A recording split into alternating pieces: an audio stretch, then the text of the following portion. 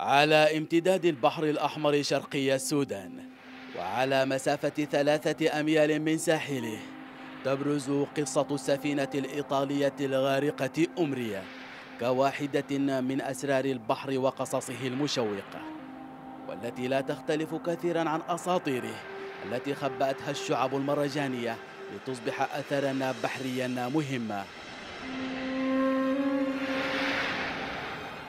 وعلى بعد 20 مترا تحت سطح البحر ظلت السفينة أمرية لتحكي قصتها للناس والتاريخ. ومنذ أن غادرت هذه السفينة إيطاليا في العام 1940 لم تعد وإنما دعت الناس لزيارتها.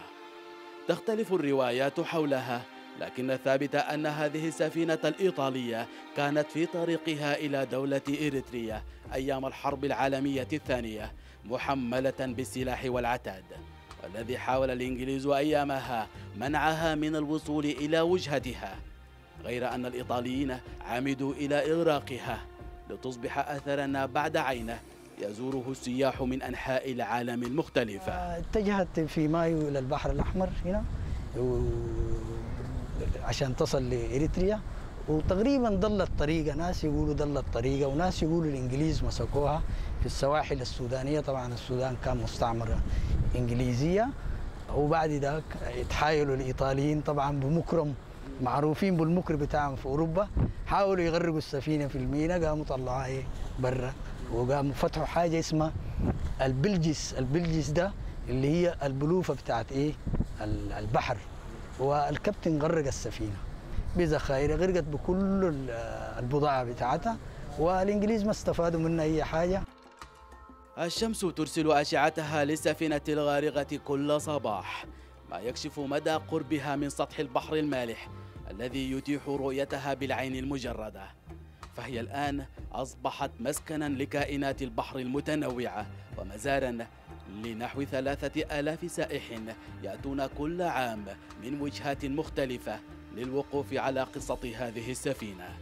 فهي باتت تمثل المزار الأول لكل السياح لقربها من الشاطئ. السفينة الإيطالية دي هي تقريبا مشاركة في الحرب العالمية الثانية.